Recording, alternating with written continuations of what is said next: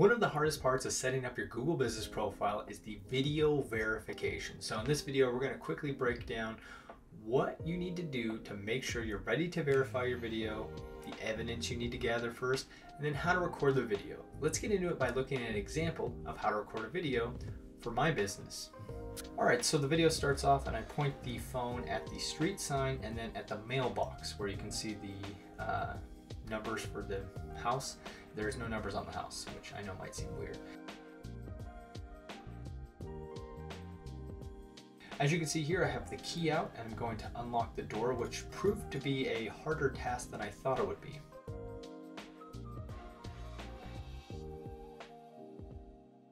Then here we are, I'm just going straight upstairs to my office, which may or may not also be my bedroom.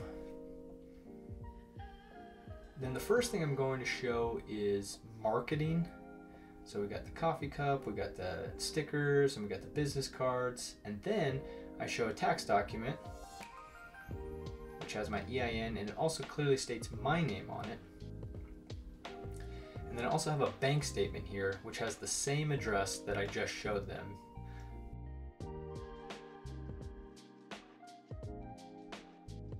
And then I'm going to get on the computer. I'm going to show them that I have access to unlock the computer with my fingerprint. You could just use a, a code here. And then I'm going to go into the back end of my website and I'm showing them that this is thencandesigns.com.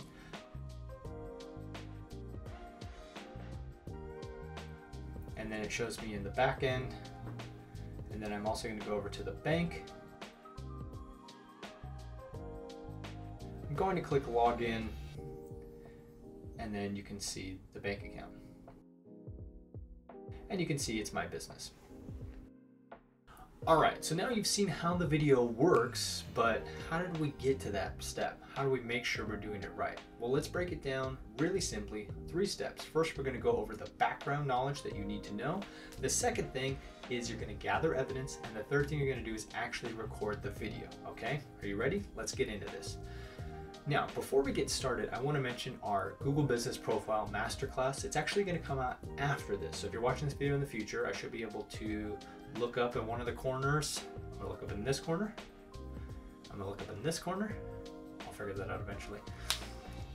And you should see a link to that video. Um, and if it's not out yet, make sure you sign up for yoursmallbizseosuccess.com. Link in the description yoursmallbizseosuccess.com so that way you'll be notified as soon as that masterclass comes out, which again should be shortly. But if you're watching this video right when it comes out, you won't see it yet because that video is coming out after this. But we have a Google Business Profile Masterclass where I go way in depth on how to set up your Google Business Profile, especially if you're a small business owner. So you're going to want to check out that video.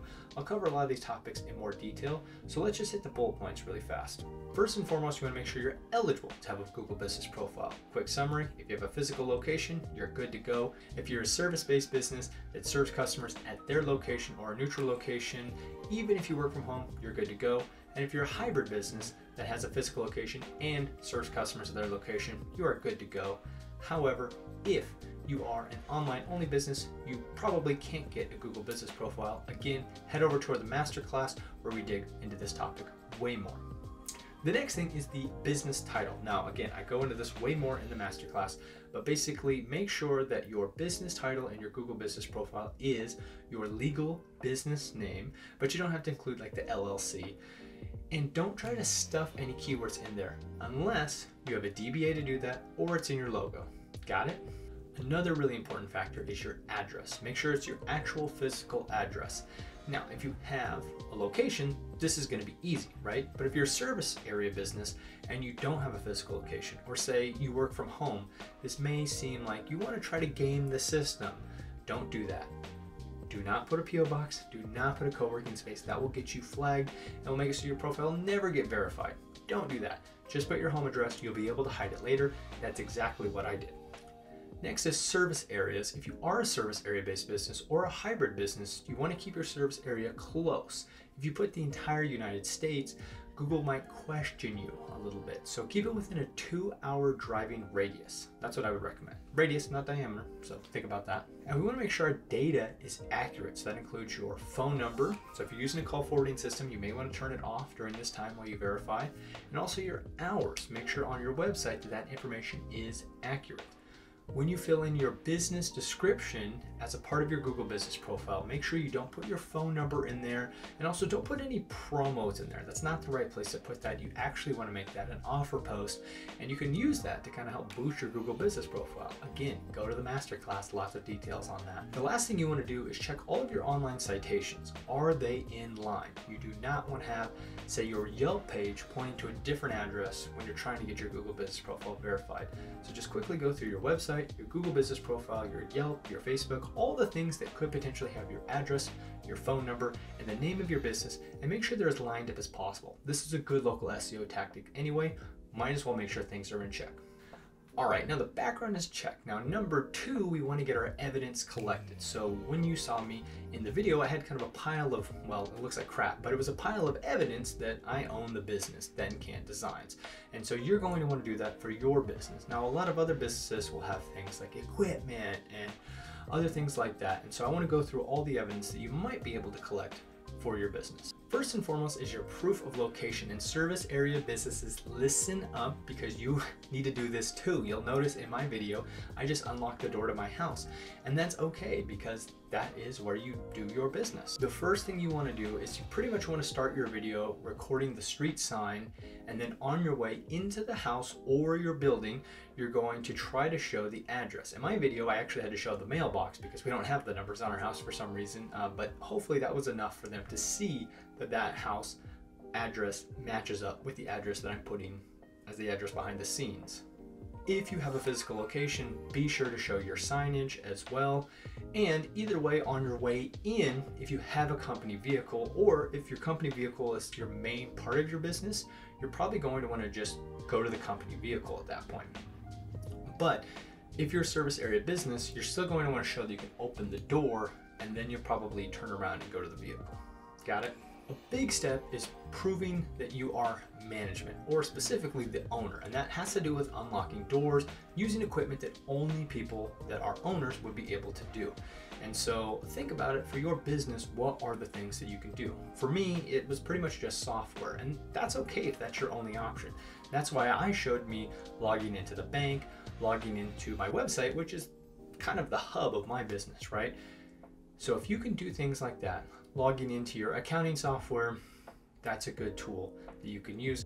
Also, if there's any equipment you need a key to use, it would be good for you to show you using that.